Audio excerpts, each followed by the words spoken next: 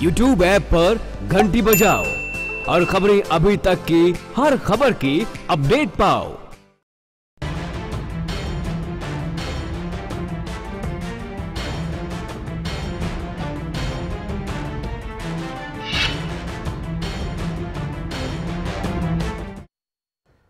नमस्कार, स्वागत है आप सभी का। मैं हूँ आपके साथ नासुर कुरेशी और आप देख रहे हैं खबर अभी तक। और आज खबर अभी तक पर एक बड़ी बहस बड़ी चर्चा, कुछ अहम सवालों के जवाब जानने की कोशिश होगी। कुछ तारीखें जहन में नक्श हो जाती हैं, भुलाए नहीं भुलाई जाती हैं, और एक ऐसी ही तारीख है आज की। लेकिन आज से एक साल पहले कुछ ऐसा हुआ था, इस शहर के अंदर पंचकुला की अगर बात की जाए, कि लोग अभी भी उस दिन को नहीं भूले हैं, और बहुत सारे लोगों के लिए वो काला दिन बहुत सारी तकलीफें लेकर आता है। हरियाणा के इतिहास का वो काला दिन, जब पंचकुला में चारों तरफ़ आगजनी और दंगों का भयावह दृश्य था और हरियाणा सरकार चाहते हुए भी पंचकुला को जलने से नहीं रोक पाई। 25 अगस्त को राम रहीम को कोर्ट की तरफ़ से 20 साल की सजा सुनाई गई और उसके बाद बाबा के समर्थकों ने पंचकुला में इस कदर उत्पात मचाया कि आज भी लोग सहम जाते हैं। आज भी पंचकुला के लोग उस खौफनाक मंजर को नहीं भूल पाए हैं और आज भी पंचकुला में 25 अगस्त को हुई हिंसा के दाग ज़िंदा हैं।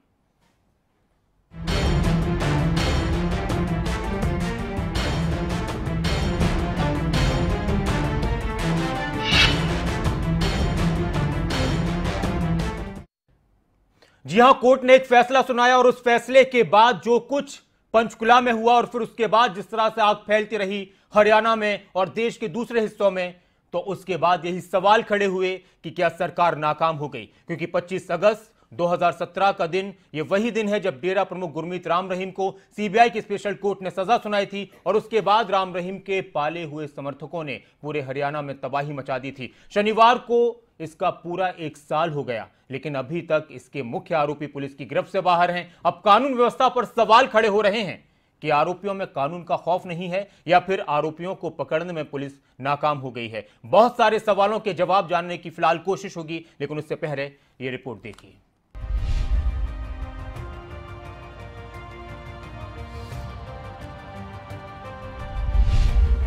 पंचकुला दंगे का एक साल।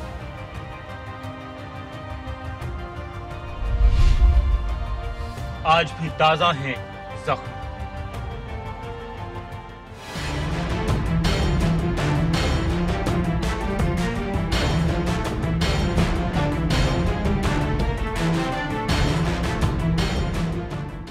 आज ही के दिन पंचकुला जल रहा था।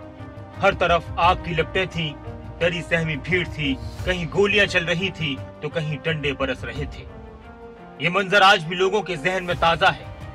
आज भी पंचकुला हिंसा का नाम आने पर लोग सिहर जाते हैं। वो दिन कोई कैसे भूल सकता है, जब साध्वी और शोषण मामले में डेरा सच्चा सौदा प्रमुख गुरमीत राम रहीम को दोषी करार देने के बाद ही समर्थकों ने हंगामा करना शुरू कर दिया था।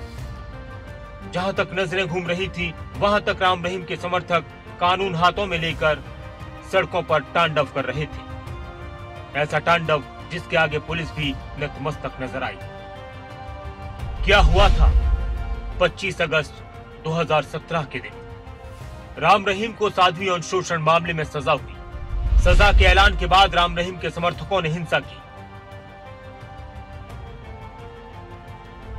पंचकुला और हरियाणा के बाकी हिस्सों में दंगे हुए। हिंसा में 36 लोगों की मौत हुई। तकरीबन चार सौ तिरपन लोग घायल हुए।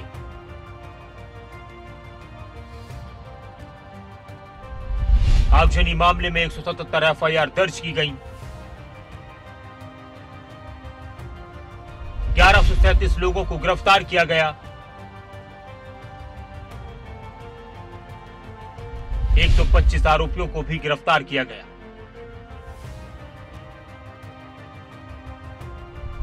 जिन्होंने पुलिस कर्मियों पर हमला किया।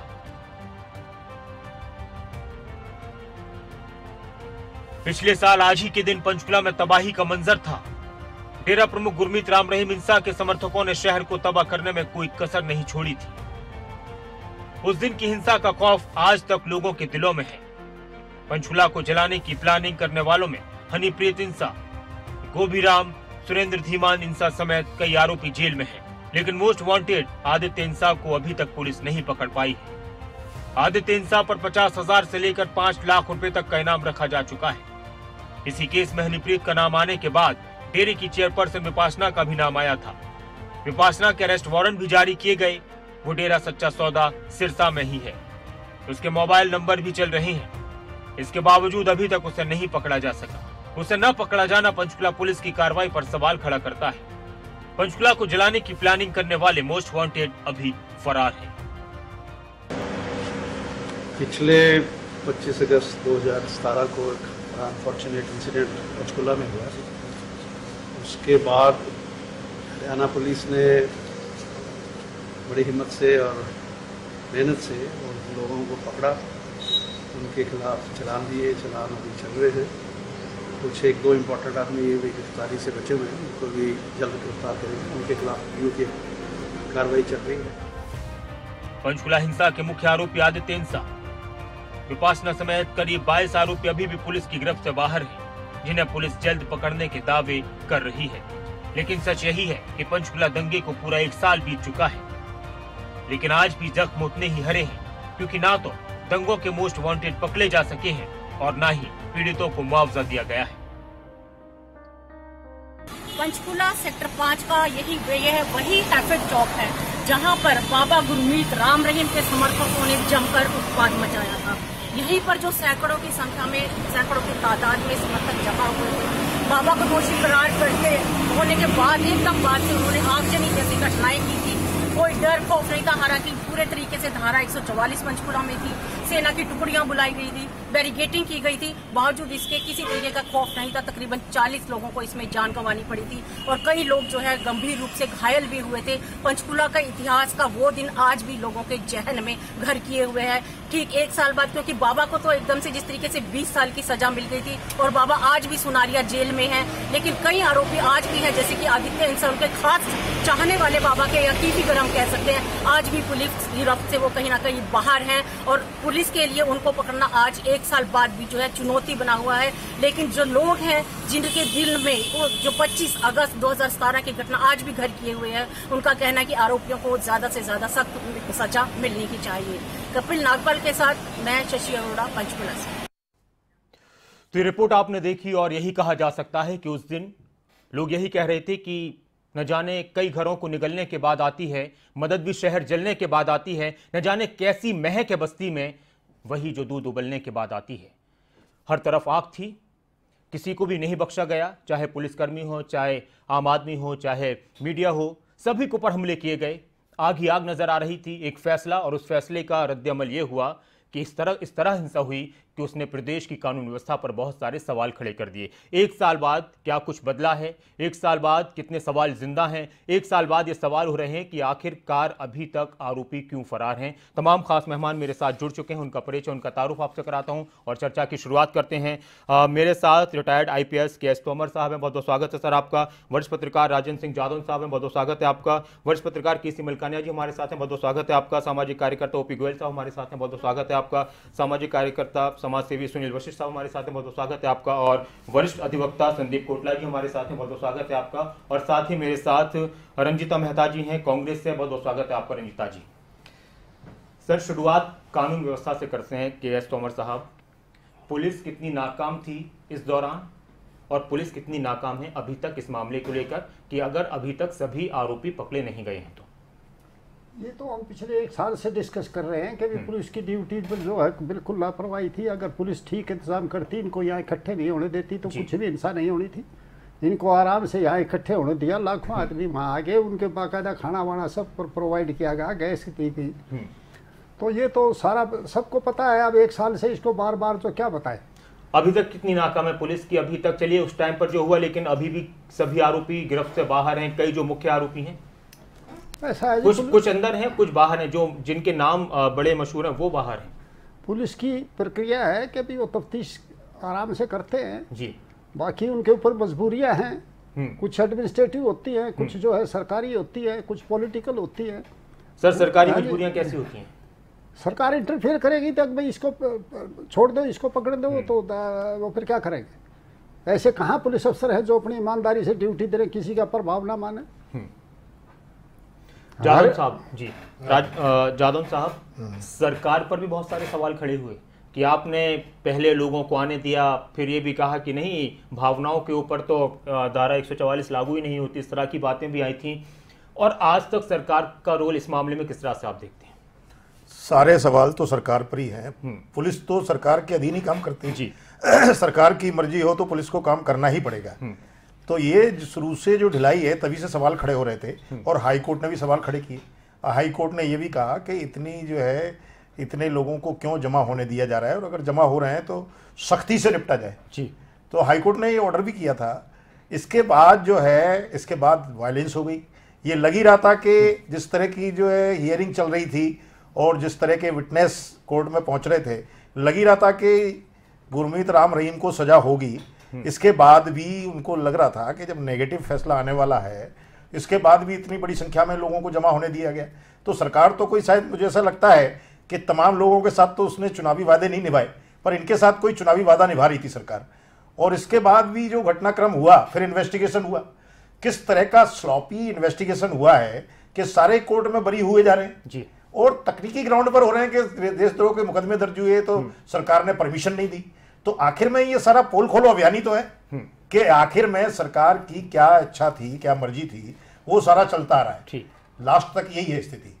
ओपी गोयल साहब लोग कोर्ट ने एक फैसला सुनाया। एक तरफ़ हम ये दावा करते हैं कि हमारा कोर्ट पर यकीन है अपने संविधान पर अपने कानून पर यकीन है। जब हमारा कानून हमारा कोर्ट कोई फैसला सुनाता है तो लोग इस कदर हद से बाहर हो जाते हैं कि फिर वो दूसरे लोगों पर हमला करते हैं आगजनी कर देते हैं। क्यों ऐसा करते हैं लोग? कुरैशी जी मैं इस बारे में कहना चाहता हूँ इस सारी घटनाक्रम का जिम्मेवार मनोहर लाल खट्टर है सीएम। क्योंकि पहले तो ए, ए, दो लाख लोगों को पंचकुला के अंदर एंटर करने दिया। जी। बड़े आराम से। धारा एक लगा दी लोगों का आँखें साफ़ करने के लिए कि धामनी धारा एक कोई को, कुछ नहीं होगा कोई गड़बड़ नहीं होगी ये नहीं होगा वो नहीं होगा सारा कुछ किया। और सबसे बड़ी बात है ये देखो आप कि सिर्फ़ एक राम रहीम को लाने के लिए सौ कारों का काफला इसके पीछे पीछे तुरा और सरकार की फेलियर देखो। धारा एक लगाने के बाद ये जो सारी हैपनिंग्स हुई उसकी सारी का जिम्मेवार मनोहर लाल खट्टर है। उसका कारण ये है अब ये कहते हैं बाद में पर्चे दर्ज हुए एक सौ सताई पर्चे दर्ज हुए एक सौ अठाई हुए दो सौ लोग पकड़ ले पाँच सौ लोग पकड़ ले हज़ार लोग पकड़ ले उनकी इंक्वायरी हो रही है। इंक्वायरी होकर वो बरी हो रहे हैं। मैं ये कहना चाहता हूँ कि पर्चा पर्चा मुरलोल और खट्टर के खिलाफ क्यों नहीं दर्ज हुआ? वो दर्ज होना चाहिए क्योंकि वो छत्तीस लोग जो मर गए वहाँ पे उसका जिम्मेवार मनोहर खट्टर है और कोई नहीं है। केसी मलकानिया जी अभी तक लोगों को मुआवजा भी नहीं मिला है और जो लोग उसमें आरोपी हैं मुख्य आरोपी हैं वो अभी फरार भी हैं। दूसरी तरफ़ सरकार ये कह रही थी उस वक्त कि हमने इस तरह से प्लानिंग की थी अगर हम ऐसी प्लानिंग नहीं करते तो और ज़्यादा खून खराबा हो जाता। उस दौरान। वो याद करने पड़ रहे हैं मंजर क्योंकि एक साल हुआ है आज। हम हर साल याद करते रहेंगे अब इस दिन को क्योंकि छत्तीस लोगों की मौत हुई थी बहुत सारे लोग घायल हुए थे। कुरैशी जी इसमें मैं हाफ़ हेड की बिल्डिंग में तीसरी चौथी मंजिल पे था। फंसा हुआ था मेरे साथ प, कम से कम पंद्रह सतारह पत्रकार थे जिसमें तीन चार महिलाएँ थी और रो रही थी उसमें हुआ ऐसे हम टैंक चौक पे कवरेज कर रहे थे। दूसरे भी कवरेज कर रहे थे हमारी फ़ोटो टीवी पे आ रही थी लोग देख रहे थे। जैसे जैसे कारें आती गई जाते रहा जो भी है साथ साथ हमें पता चला। जैसे सजा सुनवाई गई हमें पत्रकारों को इशारा किया गया कि आप यहाँ से निकलो अच्छा, कुछ हो सकता है। हम टैंक चौक से लेकर और दो और चार की डिवाइडिंग तक पुलिस का ऐसा प्रबंध था भाई कोई बंदा नहीं था उसमें पुलिस पुलिस थी। जब हम वापस आ रहे थे तो पुलिस वाले पूछे क्या हुआ? क्या हुआ? मैंने एक दो को कहा कि सजा होगी। थोड़ी देर में डीसी साहब मेरे बगल बगल से निकली उसके साथ उनके साथ। पुलिस थी। वो आगे जाकर जहाँ बैरिकेड था वहाँ खड़ी होकर तो ब्रीफ लगी प्रेस को करने। उतनी देर को वहाँ से आवाज़ उठी ऐसे हाथ उठाए। ये हुआ कि बाबा निर्दोष साबित हो गए। तो ए- हाँ निर्दोष कर दिए गए। अच्छा निर्दोष। एकदम अच्छा अच्छा। एक बार सब जयकारा अच्छा, अच्छा। उठा। उसके बाद उसमें जोश भरा फिर उसके बाद पता नहीं लगा एकदम भीड़ उठी तो वो हमारी तरफ़ आ गई। डीसी साहब पीछे निकली वो बेचारी प्रेग्नेंट थी। उससे क्रॉस की हमने हाफ़ हेड की बिल्डिंग क्रॉस की कुछ पत्रकारों उसको दूसरे पुलिस वालों ने ऊपर उठाकर तो पार कराया। जैसे ही हम अंदर गए भीड़ हमारे पीछे पीछे चली। हमने दरवाज़ा दरवाज़ा बंद किया ऊपर तक गए। एक पहली मंजिल में टिके बाकी पत्रकार नहीं यहाँ भी आ सकते दूसरी तीसरी मंजिल में पहुँचे। तो जो महिलाएँ थी वो रोने लग पड़ी। उतनी देर में क्या हो बाहर जो है आग जगनी पहले सामने वाली बिल्डिंग में आयकर भाग में लगी पिछली में लगी चारों तरफ़ धुआँ धुआँ। थोड़ी देर में एक ओपी बैन थी वो वहाँ से स्टार्ट हुई। तो जैसे स्टार्ट हुई तो पीछे से लोगों ने धक्का दिया पीछे उसके लग गई पुलिस। ए उसने जो उस दूसरी चली उसको धक्का दे के उन्होंने पलट दिया उसका ड्राइवर की टांग टूट गई। हमारे सामने एक सफ़ेद नीचे गाड़ी थी उसको तीन चार बुज़ुर्ग हाँ, आदमी वो सब- उन्होंने सब देखा उन्होंने हाँ। फूंक फूंक दिया। तब ये ऐसा हुआ कि मेरे फ़ोन की बैटरी खत्म हो मुझे तो घर से बोला, आप मतलब आप हैं कहाँ? हैं आप उस हाँ, दिन बहुत और बुरा हाल सारे हुआ। लोग और हम मतलब बड़ी मुश्किल से जब खत्म हुआ हमने डीसी को फ़ोन करे सारे पत्रकार थे अप्रोच करे। वो कहें डीसी तो अपने आप फंसी है साथ की बिल्डिंग। कहीं से हमें कोई मदद नहीं मिली कोई पुलिस वाला नहीं आया। जब वो कुछ छह बजे हम निकले वहाँ से तो रास्ते में हर जगह है। रहा था और ग्रुपों के ग्रुप जा रहे थे। मैंने कई पुलिस वालों को कहा कि मुझे थोड़ा आप आप इस दिन को कभी भूल नहीं पाएँगे बिल्कुल है ना? मौत को देखा घर वाले रोते रहे जब तक हम नहीं ठीक है आ, मैं सुनील जी आपके पास भी आऊँगा क्योंकि आप भी प्रत्यक्षदर्शी हैं उस दिन के और मैं आपसे जानूँगा। लेकिन संदीप कोटला जी संदीप कोटला जी कानून उस दिन जीता? कानून की जीत हुई। एक, और देश भर में और पूरी दुनिया भर में इस मामले को लेकर कई देशों में चर्चा हुई कि हाँ भारत के कानून में चाहे कोई कितना ही बड़ा हो, उनको सजा दी जाती है और किसी भी तरह की, किसी भी तरह से उनको बख्शा नहीं जाता। कई बार इतने लंबे केस चल जाते हैं, एक लंबे अरसे से केस चल रहा था। तो इसको किस तरह से देखा जाए कि आ, देखना पड़ता है सबूत नहीं मिल रहे थे फिर उसके बाद अभी तक वो केस बहुत सारे उनके ऊपर चल रहे हैं गुरमीत राम रहीम पर। आ, कई बार आ, सुरक्षा के इंतज़ाम पर आपका क्या कहना है? आ, कोर्ट ने किस तरह के गाइडेंस दिए थे इस दौरान कि इस तरह से इनको यहाँ पर लाया जाए? कोर्ट ने कह दिया कि चाहे कुछ भी आप यहाँ पर लेकर आओ। नहीं ऐसा कोर्ट कोई किसी तरह के गाइडेंस अच्छा नहीं देती। बस आदेश देती है गाइडेंस नहीं देती कि भी अक्यूज को प्रेजेंट होना है तो होना है। ये जिम्मेवारी सरकार की बनती है उसको कैसे लेके आ रहे हम्म। हैं ठीक है सरकार का फेल्योर यहाँ पे है कि भी धारा 144 लगाने के बावजूद भी लोग यहाँ दो लाख ढाई लाख लोग इन्होंने इकट्ठा होने दिया। हम्म। तो बेसिकली बेसिकली जो है प्रशासन का फेल्योर था। जो वहाँ जो समर्थक आ रहे थे उनकी चेकिंग लेनी चाहिए थी। अगर चलो आपका एक सीक्रेट पैक्ट था कि भी आपने समर्थ- समर्थक वहाँ इकट्ठे होने देने तो एक कम से कम उनकी तलाशी तो लेते उनके पास कोई बम या कोई किसी तरह का देखो जो भी इंसिडेंट हुआ है कोई ये लाठी डंडे वाला तो इंसिडेंट है नहीं है। इसमें पेट्रोल बम भी थे। Even petrol even even tanker तक हाँ, टैंकर तक पकड़े पकड़े गए हैं। बाद में इन्वेस्टिगेशन में सारी चीज़ें जो है ना इनके पास आई है कि भाई इसमें इस मॉब के अंदर समर्थक से ज़्यादा वो लोग थे जो दंगा फैलाने वाले थे जिनको हायर किया गया था डे- डेरा सच्चा सौदा की तरफ़ से। पंचकुला अगर बचा है तो सिर्फ़ हाई कोर्ट से बचा है। हाई कोर्ट का ऑर्डर ना होता प्रशासन के ऊपर नकेल ना होती तो हंड्रेड सरकार को इतनी फटकारें नहीं लगती तो शायद। आप और मैं यहाँ बैठ के पंचकुला का रोना जो आज रो रहे हैं ना तो यहाँ बैठने लायक भी ना होते अगर हाई कोर्ट ना होती उस दिन। बिल्कुल। हाई कोर्ट हाई कोर्ट ने ही ऑर्डर किया है डे टू डे हियरिंग हुई है और तब जाके हर रोज जो है ना सुबह सुबह जो है ना हाई कोर्ट का बेंच बैठता था और पूरी जो है ना दिन की रिपोर्ट ली जाती थी। फिर प्र, प्र, प्र, प्रशासन को जो है ना डायरेक्शन दी दी जाती थी कि भाई हमें अगले दिन तक जो है ना ये रिपोर्ट चाहिए उसके बाद ये गिरफ्तारी हुई है। अगर हाईकोर्ट की नकेल ना होती तो हंड्रेड वन परसेंट जो पंचकुला आज बचा हुआ है तो सिर्फ़ और सिर्फ़ हाईकोर्ट की वजह से बचा नाकाम थी हमारी सरकार बिल्कुल? सरकार सरकार तो नाम नाकाम है। एक साल के बाद भी आज तक इन्होंने जो नामजद उसमें अक्यूज हैं। जो मेन अक्यूज है आज तक वो नहीं पकड़ा इन्होंने। और जो पकड़े गए हैं वो धीरे धीरे उनकी धाराएँ जो है ना वो टेक्निकल ग्राउंड पे उनकी चार्जशीटें फेल हो रही हैं। जी। और हमारे साथ राजेश गौड़ साहब भी जुड़ चुके हैं बीजेपी से। स्वागत है आपका भी। अ, मैं आप दोनों के पास आता हूँ रंजीता मेहता जी। एक और हमारे मेहमान हैं सुनील वशिष्ठ साहब। चश्मदीद हैं आप भी उस दिन के। प्रत्यक्षदर्शी हैं। क्या हुआ था? मैंने शुरू में कहा था कि एक ऐसा दिन जिसको शायद बहुत सारे लोग नहीं भूल पाएँगे और हम लोग तो टीवी पर देख रहे थे हम उस पर चर्चाएँ कर रहे थे लेकिन आप लोग तो जूझ रहे थे। कुरैशी साहब सबसे पहले मैं आपके इस चैनल के माध्यम से ये कहना चाहता हूँ कि आज एक साल पहले पंचकूला में ब्लैक डे था। आज तक ऐसी घटना कभी नहीं हुई। और मैं ये आपको बता दूँ कि जिस दिन ये घटना हुई उस दिन दो दिन पहले डीसी मैडम ने एक मीटिंग बुलाई थी। उसमें पाँच आदमी बाबा जी के थे और दो हम समाज सेवी का सेवक थे और पुलिस वाले बैठे थे। वहाँ पर उन्होंने एक उनमें से दो अभी अंदर है। उन्होंने उस वक्त यही कहा कि बाबा जी के जो भी जितने भी भगत आएँगे उनको अंदर आने दो। उनको रोको मत चाहे वन फोर्टी धारा लगी हुई है वो भी चलने दो। अगर आपने रोका तो ज़्यादा काम खराब हो जाएगा। जी।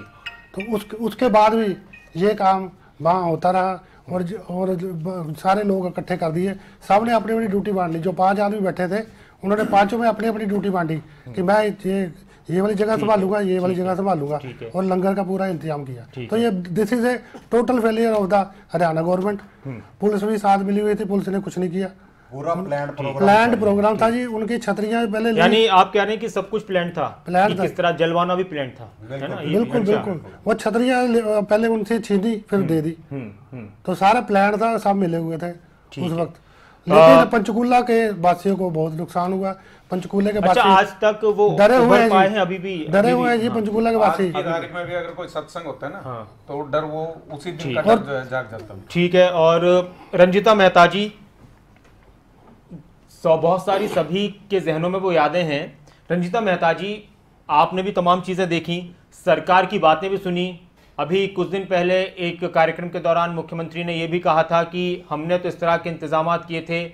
उस बाबा को यहाँ तक लाना बहुत बड़ी बात थी और कानून का जब मामला आता है तो फिर हम थोड़ा बहुत तो नुकसान होता है, लेकिन हमने कानून का पालन किया था, कोर्ट के आदेश का पालन किया था। और हमारी वजह से और भी बहुत सारा नुकसान हो सकता था लेकिन ये नुकसान कम था। इस तरह की बातें भी सुनने में आई। नासिर अफसोस इस बात की है कि मुख्यमंत्री जी को हर चीज़ मामूली और थोड़ी सी नज़र आती है। अगर वो पंचकुला के वासी होते और उस दिन पंचकुला में आते छह बजे से पहले क्योंकि जो तांडव हुआ वो सुबह नौ बजे से लेकर शाम को छह बजे तक हुआ। तो अफसोस की बात है मुख्यमंत्री जी ने सेफ़ साइड लेकर छह बजे के बाद एंट्री की जब उनको लगा कि सब कुछ शांत हो चुका है। अगर वो पंचकुला के वासी होते तो उनको महसूस होता कि हम जो पंचकुला के वासी हैं अपने घरों में किस तरीके से कैद हो गए थे। हमारे घरों की मात्र 100 मीटर की दूरी के ऊपर किस तरीके से बैंक को जलाया जा रहा था होटल को जलाया जा रहा था आने जाने वाले लोगों को मारा जा रहा था ऑटो को जलाया जा रहा था चौक को तोड़ा जा रहा था घरों के शीशे तोड़े जा रहे थे। एक दहशत का माहौल जो हम लोगों ने देखा है आज भी जब उसके बारे में बात करते हैं तो हमारे रोंगटे खड़े हो जाते हैं और अफसोस की बात यह है कि पूरा का पूरा जो प्लान किया गया था जो लोगों को यहाँ पर इकट्ठा किया गया उसके बाद रामनाथ शर्मा जी का ये कहना कि श्रद्धालुओं के ऊपर धारा 144 लागू नहीं होती इससे साफ़ नज़र आता है कि सरकार की मंशा क्या थी और वो किस तरीके से चल रहे थे और अपनी पीठ थपथपाना कि हमने बाबा को यहाँ पर लाकर पेश कर दिया। अरे, धिक्कार है, शर्म है इस बात के ऊपर। अगर आप सौ गाड़ियाँ, जो कि अस्त, जो क्या कहते हैं उसमें आर्म्स एंड एनिमिनेशन भी थे उसके अंदर तरल पदार्थ भी था उसके अंदर पेट्रोल्स भी थे टैंक भरे के भरे थे जो पूरे के पूरे वहाँ से सिरसा से यहाँ पंचकूला के अंदर एंटर कराए गए और किसी भी व्हीकल की चेकिंग नहीं हुई। ये सबसे बड़ा दुर्भाग्यपूर्ण बात है। अभी केसी मलखानिया जी कह रहे थे कि वहाँ की जब आ रहा हूँ राजेश गौड़ होगी? आ रहा हूँ राजेश गौड़ जी आपके पास आ रहा हूँ। बहुत सारे सवाल है आपके पास। जी। पंचकूला आ रहा हूँ आपके पास दीजिएगा जवाब रंजिता जी अपनी बात पूरी कीजिए जल्दी से आप। जी। केसी मलखानिया जी भी बता रहे थे कि डीसी मैडम जो उस समय प्रेग्नेंट थी और महिला थी किस तरीके से दीवार उनको फांद कर उनको वहाँ से सेफ़ निकाला गया आप बताइए जब वहाँ पर एक डीसी मैडम का ये हाल था उनको ठीक है समझ में आता है और सबने देखा भी बाद जो। पत्रकार भाई हैं किसी की बिल्कुल। टांग तोड़ी गई बिल्कुल बहुत नुकसान उसमें मीडिया का भी हुआ और पता नहीं मैं उस पर भी। मेरे साथ वरिष्ठ पत्रकार है कि मीडिया पर क्या गुस्सा था उस पर भी पूछूँगा ठीक है। ठीक है ठीक है। ठीक है राजेश गौर गौड़ साहब। दो आप बोलेंगे 2007 अरे से उसके ठीक है रंजिता जी अब मैं आता हूँ आपका बाद में राजेश गौड़ जी से जवाब लेते हैं आपके बहुत सारे सवाल थे मैं एक एक सवाल और जोड़ बहुत। जल्दी से खत्म कीजिए अपनी बात। हाँ एक बात बताइए जो टोटल एफ़ आई आर हुई थी 240 एफ़ आई आर हुई जिसमें से 177 एफ़ आई आर केवल पंचकुला की एफ़ आई आर थी। और आप देखिए कि जब 2230 आरोपी आप गिनाते हैं और अरेस्ट सिर्फ़ ग्यारह को कर पाते हैं और जो 20 मुख्य आरोपी हैं उनको आप अरेस्ट नहीं कर पाते इससे बड़ा फेलियर क्या है ये कह रहे क्या हुआ ये गिनवाया अब मैं आता हूँ आपके पास थोड़ी देर बाद। राजेश गौड़ साहब बहुत सारे लोग यहाँ भी बैठे हुए हैं। पूरे प्रदेश में इस तरह की बात है कि सरकार उस वक्त भी फेल हुई थी और सरकार आज भी नाकाम नज़र आती है इस मामले में कि अभी भी लोगों को मुआवजा नहीं मिला है जो पीड़ित हैं और जो मुख्य आरोपी हैं वो पुलिस की गिरफ्त से बाहर हैं। देखिए, अभी रंजीता जी ने एक बात बोली कि जो ये सारा मामला हुआ, सही में बहुत गलत मामला इस बात को मैं मानता हूँ। लेकिन एक बात मैं बताना चाहूँगा, अगर बी एस संधू जी, जो हमारे डीजीपी है, कल उन्होंने प्रेस कॉन्फ्रेंस करी, उन्हीं के शब्दों में कहे तो उन्होंने बोला कि जो परवीन इंसान, जो मेन एक्यूज है उसमें उसके हम करीब हैं गिरफ़्तार करने में। इन्होंने पता इन्होंने ये ये तो पुलिस पुलिस जब हम खबर पढ़ते हैं ना राजेश गौर जी मेरा सवाल रंजीता जी पाँच मिनट साहब बोल रही है मैं आपको कुछ बोला। रंजीता जी रंजीता जी ने बोलने दीजिए। रंजीता मेहता से जी ने बोलने आप दस मिनट से दीजिए अपनी रंजीता मेहता जी उन्हें बोलने दीजिए प्लीज़ आपका काम क्या आप बोलिए। रंजीता मेहता जी उन्हें बोलने दीजिए। देखिए कुरेश साहब 2007 से लेकर 2009 तक एम कृष्णन ने अपनी रिपोर्ट में सीबीआई के जो थे कि जितने लोग इन्होंने जितने मेन गवाह कांग्रेस के साई में मरवाए इन्होंने उधर क्यों कभी नहीं हुआ। हमारी सरकार ने बाबा को अरेस्ट करने के लिए उस ऐसा का माहौल पैदा हो कि अच्छा। वो। यहाँ पर आए और यहाँ पर अरेस्ट प्रॉपर हो और। शांति शांति बहुत बहुत अच्छी बात है यानी छत्तीस लोग मर। जाएँ यानी छत्तीस लोग मर जाएँ करोड़ों रुपए का नुकसान हो देश का प्रदेश का वो कुछ नहीं है नहीं वो है बिल्कुल नहीं, नहीं, मैं आपको का सत्यानाश करा के आप बाबा को पकड़ना चाहते हैं। हुई उसका कंपनसेशन का प्रोसेस इज़ गोइंग ऑन कितने कहाँ पर हुआ ये है आप डीसी साहब से बात कर सकते हैं मुकुल कुमार जी उनसे बात कर सकते हैं ये प्रोसेस इन जो है जो लोग पंचकुला में इनकी डेथ हुई तीसरी बात अब ये बात मुझे कह रही थी कि जितने क्या प्लानिंग थी? प्लानिंग थी पंचकुला को जलाने की? सब सब लोग यहाँ हैं। बिल्कुल, बिल्कुल। इसके अंदर हमें जो गुरमीत राम रहीम था उसको अरेस्ट करना था प्रॉपर ढंग से लाना था शांतिपूर्वक तरीके कई कई सरकार के सरकार के एक मिनट राजेश गौर साहब सरकार के कई अपने मंत्री सरकार के कई मंत्री बीजेपी के कई नेताओं के बड़े अच्छे ताल्लुकात हैं। बड़े अच्छे ताल्लुकात थे गुरमीत राम रहीम से। क्या उसका एक लिहाज किया जा रहा था इस दौरान? जो मेन लाखों दरवाजे जो बिल्डिंग 24 लोग, जलाई पचास लाख का चेक भी पचास लाख का चेक क्या बोल रहे हो में वो करा नहीं आप शर्म मानो शर्म। पंचकुला से माफ़ी मांगो। रंजिता जी रंजिता जी प्लीज़ रंजिता जी एक मिनट। पता है दोनों लोग बोलेंगे तो समझ में नहीं आएगा। कोशिश ही हमारी होनी चाहिए आज कि हम ऐसी बात करें कि सभी को समझ में आए। रंजिता मेहता जी एक मिनट। राजेश गौर साहब राजेश गौर साहब राजेश गौर साहब जिस तरह से भूमिका बनाई गई थी सिरसा से यहाँ तक लाने की उसमें क्या ये कोशिश थी कि एक लिहाज बरता गया गुरमीत राम रहीम का लिहाज नहीं उसको इस तरह से प्लान किया क्या कि अच्छा पूरे और आपकी प्लानिंग फेल हो गई फिर भी छब्बीस लोग गया। आप माफ़ी मांगो। आप पंचकुला से माफ़ी मांगो अगर- उनको अगर ये अगर अगर इसको सही ढंग से लाने का ना किया जाता तो यही बात गुरमीत राम जहाँ रह रहे थे वहाँ पर कुछ लोग ऐसी घटना घटी जब आपसे सवाल ब्रेक के बाद एक ब्रेक के लिए रुक रहे हैं जल्द जल्द लौटते हैं क्योंकि बहुत अहम बातें हैं प्लानिंग की बात कर रहे हैं कुछ लोग, सरकार की नाकामी की बात कर रहे हैं, प्रशासन की नाकामी की बात कर रहे हैं। पंचकुला में जो आग लगी, वो मंजर अभी भी ताज़ा है। जल्द लौटने एक ब्रेक के बाद।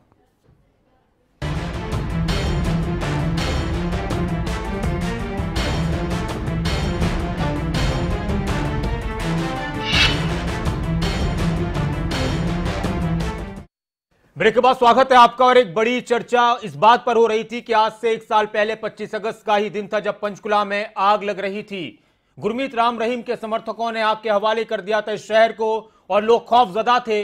और आज भी बहुत सारे लोग खौफजदा हैं। जिस तरह से हमारे स्टूडियो में बैठे मेहमान कह रहे हैं कि अगर आज भी वहाँ पर इस तरह का कोई कार्यक्रम होता है, सत्संग वगैरह होता है तो लोग डर से जाते हैं। तमाम मेहमान मेरे साथ जुड़े हुए हैं। एक बार फिर से चर्चा की शुरुआत करते हैं। संदीप कोटला जी, मुआवजे की बात आती है। और अभी तक लोगों को मुआवजा नहीं मिला जिनका भी नुकसान हुआ बहुत सारी आगजनी हुई गाड़ियाँ खासतौर से मीडिया की मैं बात करूँ तो मीडिया का भी बहुत बड़ा एक नुकसान हुआ था। हमारी खुद की खबर अभी तक चैनल की वो भी वैन को भी तोड़फोड़ की गई थी आग के हवाले करने की कोशिश की गई थी तोड़फोड़ हुई थी। मुआवजा क्यों नहीं मिला? इसमें कोर्ट के किस तरह के आदेश थे? इसको भी लेकर कुछ कन्फ्यूज़न रहता है। यहाँ पर किस तरह की कमी पाई जा रही है? और कोर्ट कहाँ से कमी पाई जा रही है? ऐसा कोई स्टे ऑर्डर नहीं है कि भी मुआवजा ना दिया जाए। कोर्ट ने सिर्फ़ ये ऑर्डर पास किए हैं हाँ। कि भी जो भी नुकसान हुआ है उसकी भरपाई जो है ना डेरा के संपत्ति से होगा।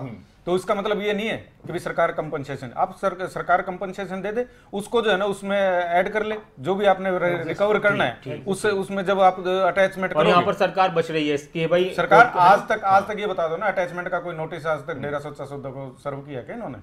आज तक एक भी नोटिस नहीं दिया इन्होंने कि भी कौन सी प्रॉपर्टी इनकी अटैच करनी है। इनसे आज तक जो है जितने एक्यूज हैं उनकी तो गिरफ्तारी हुई नहीं। ये मुझे लगता नहीं मुख्य ये- आरोपी आदित्य इंसा जिसका नाम बार बार लिया करते थे आज तक वो फरार है। पाँच लाख तक का इनाम है उसके ऊपर। तब पूरा एक साल हो गया। पूरा एक साल हो गया आज हाँ एक साल हो गया पूरा। मुझे नहीं लगता ये केस भी जो है ना आठ से दस सालों के बाद ये ट्रायल भी कंप्लीट हो जाएगा इनका। और जो जो वो डेरे सील किए थे वो भी खोल दिए। पंद्रह में डेरा सील किया था। हो। सब जगह वहाँ सारी जगह खोल दिए। सब वहाँ नाम चर्चा होती। है तो क्या क्या इस- आ, कि- उसका- मैं हाँ जी सर बोलिए इसलिए आप ही बोलिए गोयल जी। हम्म। जिस दिन से हरियाणा के अंदर बीजेपी की सरकार जी, बनी है। जी, आता हूँ आपके मनोहर लाल खट्टर के सुर- सरपरस्ती में सरकार बनी है हम्म। उस दिन से जो हरियाणा का सत्यानाश इन लोगों ने रल के किया उसका हम लोग बयान नहीं कर सकते पहला रामपाल संत पकड़ा गया हम्म। उसको पकड़ने के लिए इन्होंने क्या स्टेट एक्स चक्कर पे पैसा डाला नहीं कह सकते हम्म। दूसरा जाडर रखना हुआ उस वक्त इन्होंने खूल दी और छूट दी छूट देने के बावजूद सारा रोहतक, सारा और जितने भी ज्वाइनिंग थे सारे जलाए। तीसरा थे राम, इसका गुरुमित राम रहीम का केस था। चौथा एक और था जो अभी मुझे याद नहीं आ रहा। ये सारे मनोहर लाल खट्टर के फेल्यूर है। चलिए, ठीक है। के सी मलकानिया जी, मीडिया पर भी हमला किया गया था उस दौरान। और चुन चुनकर मीडिया की गाड़ियों को निशाना बनाया गया मीडिया पर हमले की वजह क्या नज़र आती है? क्या इनको ऐसा लगा डेरा समर्थकों को कि नहीं मीडिया को भी नहीं छोड़ना है? देखो जी मीडिया को तो इन्होंने सेवा भी की सेवा करके को पीटा इन्होंने अच्छी अच्छा, तरह। सेवा कैसे? पहले जो जहाँ चौक है टैंक चौक वहाँ इन्होंने खाने का प्रबंध पूरा था मीडिया को पैक्टों में दिया इन्होंने खाना खिलाया। हाँ, तो खिला खिला के परंतु खिला खिला के पीटा है जो सुरेंद्र धीमान है और दूसरे वो पत्रकार को वो पहचानते थे। हाँ। वहाँ मीडिया के जो इनके थे वो जानते थे मीडिया की गाड़ियाँ खड़ी थी। वो कवरेज इस तरह की कर रहे थे जो भीड़ थी उसकी कवरेज भी कर रहे थे और बैन थी वो भी कर रहे थे। इन्होंने जब देखा कि अब हमने आगजनी करनी है तो मीडिया कवरेज करेगी इसलिए उन्होंने मीडिया की अच्छा। गाड़ियों को पहले भगवाने की कोशिश की और उन्होंने पहले एक दो गाड़ियों को निशाना बनाया भाई भाग जाएँगे। परंतु जो इनकी स्कीम थी चलो भाग जाएँगे। परंतु जैसे भागने लगे तो दूसरे जो श्रद्धालु थे उन्हें लगा भाई गाड़ियाँ जा रही हैं इनको तोड़ फोड़ दो। और एकदम पहले एक वैन को इन्होंने धक्का देकर गिराने की कोशिश की दूसरा भागना। उसके बाद इन्होंने आग जनी वगैरह दूसरी कर दी। और पुलिस जो थी एकदम पीछे हटी है। जी। जब इन्होंने हमला किया ना अगर पुलिस डटी रहती तो लोग सेफ़ रहते। थे परंतु एक बात पुलिस ने एक लाइन छोड़कर कम से कम पंद्रह बीस मीटर पीछे हटी है। उसके बाद इन्होंने गाड़ियों को जलाना शुरू किया। और इन्होंने पहचानते थे इन्होंने कि ये थे भी कवरेज ना हो जो हम तोड़ फोड़ कर रहे हैं। इनकी कवरेज हमें हमें करने दिया जाए। बिल्कुल हमें पूरी परमिशन मिली है हमारे दिल से और गुरु से। जादौन साहब अब इस केस में आप क्या कुछ देख रहे हैं? देखिए मुख्य आरोपी फरार मुआवजा मिला नहीं है। सरकार कह रही है कि हमने तो बहुत बड़े नुकसान से बचा लिया। थोड़ा सा नुकसान ये हुआ है सिरसा डेयरी की संपत्ति से और जो डेयरी की संपत्ति उससे मुआवजा दिया जाए इस तरह से भरपाई की जाए। काम चल रहा है उस उस, उस तरीके से कि हाँ लग रहा है कि हाँ सरकार कुछ काम करे इस मामले में? सरकार की कोई मंशा नहीं मैंने पहले भी कहा। सरकार तो उस फॉर्मूले पर चल रही है कि गिलास आधा है या गिलास आधा भरा हुआ है आधा खाली है। अच्छा। इस सिद्धांत पर चल रही है। वो ये कह रही है कि हमने जो है नुकसान कम होने से बचा लिया अरे ये नुकसान जो हुआ है ये क्या कम है? सरकार को अपने साख की चिंता नहीं। अपोजिशन के लिए एक बड़ा इशू मिल गया चुनाव में भी इशू रहेगा। तो सरकार ने नुकसान होने दिया और इसके बाद सबको जो है रिलीज़ करवाने के मूड में है सरकार। सरकार की जो एजेंसी है जो सरकार के अंडर में काम कर रही है वो प्रॉपर एफिशिएंटली काम नहीं कर पा रही। इसका क्या मतलब है? अच्छा। इसका मतलब सरासर है कि सरकार की इच्छा नहीं कि इनको सजा मिले। मुझे लगता है कि इसको इस तरह से ढिलाई देते हुए ग्रेजुअली लोगों की मेमोरी से निकालते हुए इनको पूरी तरह से बरी करने के मूड में है सरकार। और देखिए कि अब नुकसान की भरपाई की बात है तो हाई कोर्ट ने जो है बैंक अकाउंट भी सीज करवा दिए हैं। हाई कोर्ट के ऑर्डर पर इनकी तमाम जो है इनकी जो इंडस्ट्रियल और कॉमर्शियल एक्टिविटीज़ थी वो भी बंद है। तो इसका निपटारा भी सरकार को जल्दी करवाना चाहिए। करीब 2000 करोड़ की प्रॉपर्टी जो डेरा की है वो एक तरह से सीज्ड है। और वो एक तरह से नॉन फंक्शनल हो गई। वो नॉन प्रोडक्टिव हो गई। तो उस पर कुछ फैसला करना चाहिए के- केस- लोगों को प्रॉपर मुआवजा भी मिले। केएस तोमर साहब सर पुलिस जब कार्रवाई करती है तो कितना इंतज़ार पुलिस को करना पड़ता है? अगर पुलिस को पूरी तरह से परमिशन दे दी जाती शुरू से ही जिस तरह से आपने कहा कि वक्त लगा था पुलिस के भी हाथ बंधे हुए होते हैं तो क्या इतना नुकसान नहीं होता? कानून से तो जी कोई टाइम का इनके पास होता ही नहीं है पुलिस वालों ने तो तुरंत एक्शन जो है ना यानी इमीडिएट एक्शन लेना पड़ता है एक सौ चौवन सी है। जब कोई कॉग्निजेबल ऑफेंस उनके घटता है तो वो उसी वक्त उन्होंने मुलजिमों को पकड़ना चाहिए। उसी वक्त जो है जितना प्रिवेंटिव जो भी बचा सकते हैं जो पहले नुकसान है वो सारा काम उन्होंने करना चाहिए। अब पुलिस ने क्यों नहीं किया? ये सारे भाई पंचकुला के निवासी हैं खुद मैं भी पंचकुले का हूँ सबने बयान कर दिया है कि क्या क्या हुआ है। तो सर, क्या भुलाने उस कर्फ्यू में उस कर्फ्यू में किस तरह एक मेरे पड़ोस में कर्नल साहब हैं रिटायर्ड तो उनको बेचारे बच्चे रोटी नहीं देते टिफ़िन आता था। वो सात दिन तक टिफ़िन नहीं आया उसके पास किस तरह उनके पास खाना पहुँचाया वो पड़ोसियों को ही पता है। जी। तो इस प्रकार जो इतनी यातनाएँ झेली हैं तो क्या तो लोग भूल जाएँगे? नहीं कभी नहीं भूल सकते। जैसे जादव साहब ने कहा कि अभी एक इस तरह की मंशा नज़र आ रही है कि सरकार की कोशिश है कि धीरे धीरे इसको भुला दिया जाए। नहीं भूला तो सकता ही नहीं ना कोई जी। जिसके जिस पर गुजरी है वो कभी कैसे भूल सकता है? इतने भारी यानी हर वक्त ये खतरा था पता नहीं कब आपके ऊपर अटैक हो जाए कब आपके घर में घुस जाए कब आपके मकान के आगे लगा दें। वो ठीक है वो इतने दिन तक ठीक है हाँ, राजेश गौर साहब ऐसा नहीं लगता कि आपकी सरकार चीज़ों को शुरू में बहुत हल्के में लेती है कि अच्छा ठीक है होने दीजिए। जब एकदम से मामला बहुत ज़्यादा बिगड़ जाता है फिर सरकार की आँखें खुलती हैं। कि ये क्या हो गया? देखिए क्योंकि देखिए मैं आपको बताऊँ रामपाल के मामले में भी ऐसा ही नज़र आया। कुरेशी जी मुझे जब जाट आरक्षण आंदोलन हुआ उस टाइम भी ऐसा नज़र आया और फिर गुरमीत राम रहीम के मामले में भी ऐसा नज़र आया। कुरेशी जी मुझे एक चीज़ बताइए। जी। जब रामपाल वाला मामला आया हाँ। तो रामपाल अरेस्ट हुआ। रामपाल कहीं भागा नहीं छोड़ के नहीं गया। अगर दूसरा अगर गुरमीत राम रहीम अरेस्ट हुआ आप एक मिनट मुझे मुझे पूरी अच्छा। बात कर लीजिए ठीक है रंजीता जी आपके पास ही आऊँगा इनके पास इनको उनको हाँ। अरेस्ट हाँ। किया। हाँ। ये नहीं हुआ कि अरेस्ट नहीं हुआ कामयाब। ठीक है, हाँ। ठीक है ये बात बिल्कुल सही है पंचकुला में जो हुआ बहुत गलत हुआ मेरी बात हुआ लेकिन उस चीज़ को बचाने के मैं पहले भी बोला दूसरी बात मैंने की पहली बार हरियाणा के अंदर किसी एसपी को सस्पेंड किया बिकॉज़ उसने अपनी ड्यूटी प्रॉपर कई। निभाई नहीं। अगर वो सस्पेंड हो रहा है कोई एसपी सस्पेंड हो रहा है जो एक आईपीएस रैंक का आदमी सस्पेंड हो रहा है इट मींस कि उसको हमने संज्ञान लिया उस अच्छा सस्पेंड माना, करने से ठीक रहता है सब देखिए। देखिए मैं ये नहीं कह रहा मेरा सवाल ये था सर। आप राजेश गौड़ साहब सर एक मिनट सर एक मिनट। राजेश गौड़ साहब मेरा सवाल ये था कि चलिए मान लिया आपकी सरकार आपकी सरकार बहुत संजीदा है मान लिया। मैं ये कह रहा हूँ कि क्या शुरू में सरकार इस तरह के मामलों को हल्के में लेती है? हो सकता है कि देखिए रामपाल का मामला था उससे सबक लेकर आगे इस तरह की चीज़ें होती। फिर जाट आरक्षण की बात की जाए फिर उसके बाद गुरमीत राम रहीम कि शुरू में हल्के में लिया जाता है जब फिर बहुत ज़्यादा मामले बिगड़ जाता है तब सोचते क्या रही क्या हुआ करते हैं कुछ। इसको इसको इसको देखने का पहलू है गुरेश जी। अच्छा। हम कह रहे हैं कि इसको हल्के में लिया है। हाँ। इसको प्लान वे में लिया कि उस जो हम जो हमारा लक्ष्य है वो पूरा हो जाए। लक्ष्य पूरा क्या हो जाए? वो आदमी अरेस्ट हो जाए जिसके पीछे सारा चालीस लक्ष्य उसको पूरा करने के लिए कामयाब नहीं, माना जाएगा चालीस चालीस देखिए उसको प्लान किया गया हाँ। कि किस तरह इस बात को पूरा किया जाए और हम उसको अरेस्ट कर सके। चाहे वो रामपाल का क्या मामला हो, चाहे 40 गुरमीत राम क्या। 36 लोगों का मरना बड़ी बात नहीं है। अभी अभी गोयल साहब ने बोला कि तेरह सौ अठारह लोग थे वो निकाल देंगे। मैं मैं कर लेता हूँ। तेरह सौ अठारह लोग थे जिनके ये कह रहे कि उन पे चार्जशीट फ़ाइल है वो वो लोग अरेस्ट हैं। दे आर इन प्रोसेस क्यों है? चला हुआ है। अभी भी इस तरह के आरोप लग रहे हैं कि जो मुख्य आरोपी हैं तो अगर बहुत ज़्यादा सरकार इसमें अपना शक्ति सख्ती दिखा दे तो वो जल्दी गिरफ़्तार हो सकती हैं।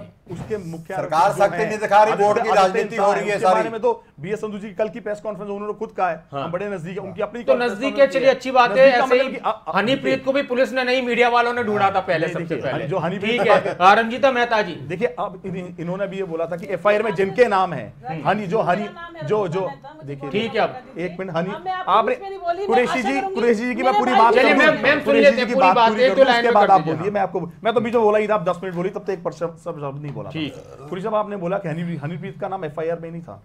आप मानते लेकिन हनीप्रीत को अरेस्ट किया। इसका मतलब जो एफआईआर में ये तहजीब है जी जब इन्वेस्टिगेशन चलती है एफआईआर फ़र्स्ट इन्फॉर्मेशन रिपोर्ट होती है उसके बेस पे हम ढूँढने शुरू करते हैं। जो जो लोग जहाँ जहाँ पाए जाते हैं उस पर इन्वेस्टिगेशन की जाती है।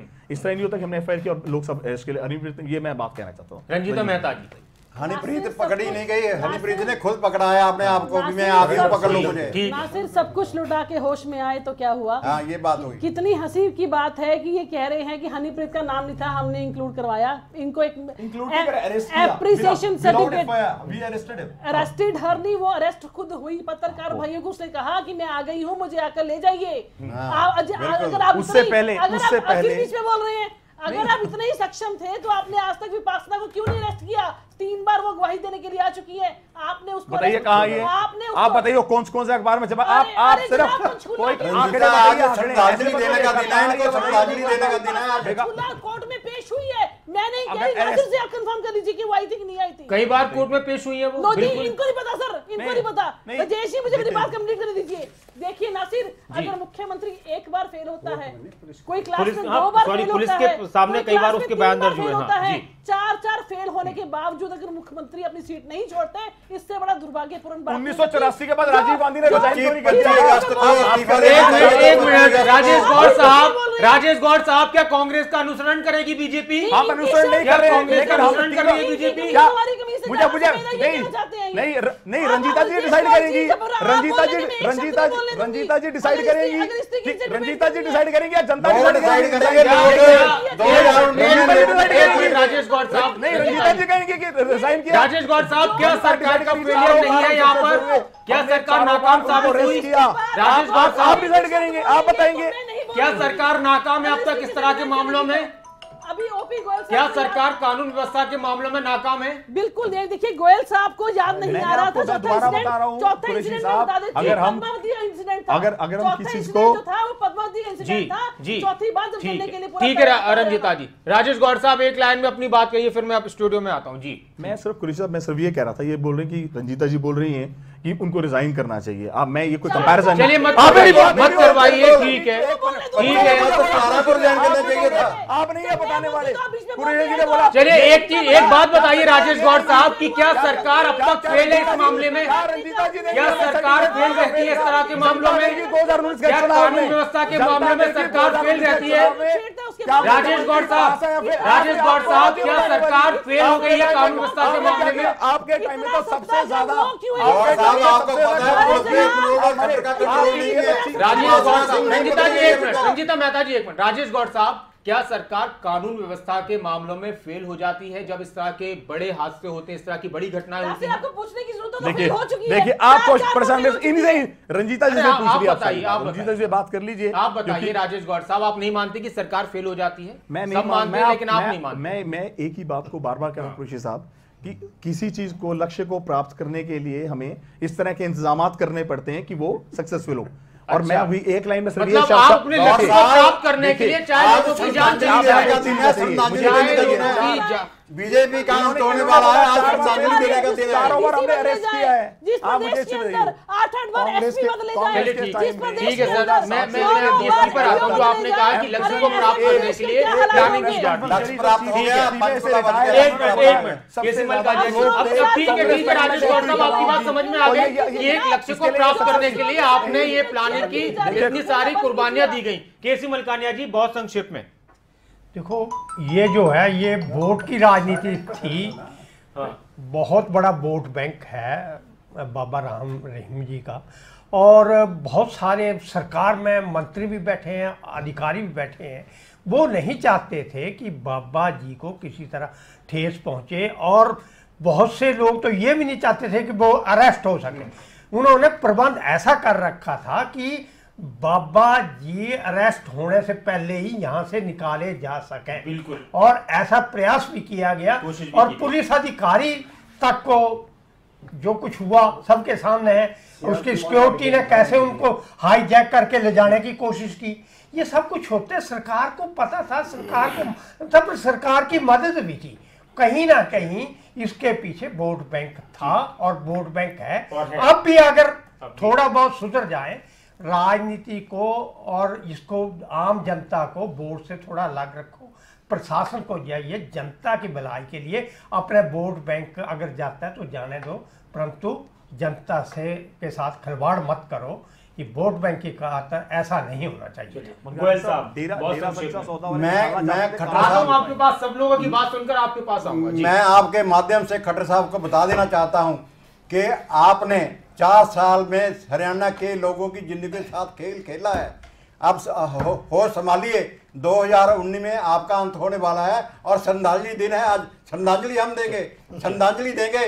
लोगों को मरवा के। ये आराम से कुर्सी पे है, बैठे है ये जिम्मेवार है। कोटला साहब सर क्या होना चाहिए अब? कानून कानून के पहलू से। देखो कानून के पहलू से सरकार ने तो कुछ करना नहीं। इनका जो उस टाइम का फेलियर सरकार को कुछ नहीं करना फिर कौन करे नहीं देखो कोर्ट कर रही है। सरकार करेगी आएगी। कोर्ट कर रही है। जो ये जो जो जितनी भी अटैचमेंट होगी प्रॉपर्टी की कोर्ट करेगी। आज तक एक भी स्टेप इन्होंने सरकार ने तो उठाया नहीं। ना तो डेरा सील हुआ है। जो सील हुए थे वो सारे धीरे धीरे रिलीज़ हो रहे हैं। और वहाँ पे आज भी नाम चर्चा घर चल रहे हैं।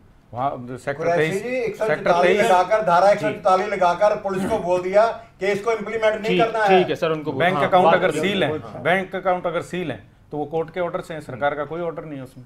और कंपनसेशन दिया जाएगा वो भी कोर्ट के ऑर्डर से दिया जाएगा। They have to file their cases for compensation सरकार का कोई ऐसा स्टेप नहीं है जो जनता को रिलीफ देने के लिए हो।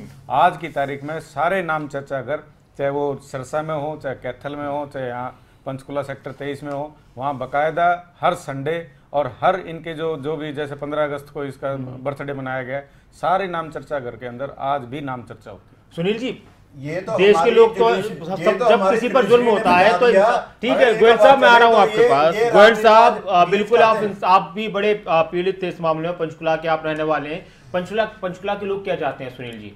क्या चाहते हैं? वो भूल तो नहीं पा रहे। भूल सकते भी नहीं है जी वो तो चाहते हैं कि इंसाफ हो। आज आपको मैं ये बता दूँ कि आज तक जो जितनी लाइटें लगी हुई थी या सीसीटीवी कैमरे लगे हुए थे वो भी तोड़ गए वो। आज तक नहीं लगी परसों अभी अमर टैक्स चौक पे अ, कैमरे द्वारा लगाए गए हैं। अच्छा। और लोगों में दहशत इतनी ज़्यादा हो गई है। लेकिन कोई भी केस जैसे आप अभी आपने देखा कि जितने देशद्रोह के केस थे वो सारे वापस हो गए।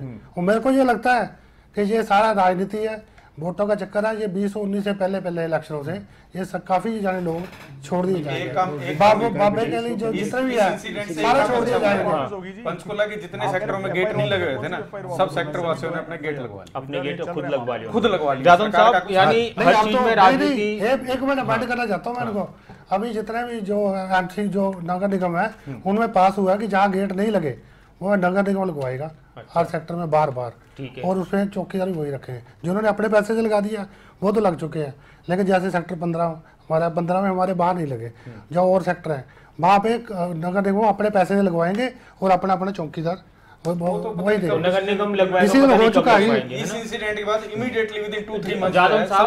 यानी फिर घूम फिर कर राजनीति। तो जादव साहब जिस तरह से राजेश गौड़ साहब ने एक बात कही कि एक लक्ष्य को प्राप्त करने के लिए इस तरह की कोशिशें की जाती हैं। तो लक्ष्य को प्राप्त करने के लिए कितना नुकसान सहा जा सकता है? देखिए लक्ष्य तो राजनीति की लक्ष्य था। अच्छा। वो डेरा में जो इनको दोषी सीबीआई कोर्ट ने जब इनको कन्विक्ट किया उससे पहले ही शिक्षा मंत्री वहाँ देके आए थे उनको डेरा को। जो एक चेक देकर आए थे कितने अमाउंट का 50 लाख का। पचास लाख का। फिर बाद में उसको जो है इन्होंने फिर विड्रॉ किया है। जी। लेकिन ये देके आए थे तो इससे पता चलता है ना सीधा सीधा ये बहुत बड़ा सबूत है। ये जाके इनके मंत्री जाके और किस तरह से ये उन संबंधों को निभा रहे थे जो इनको जिताने के लिए जो डेरा ने आश्वासन दिया।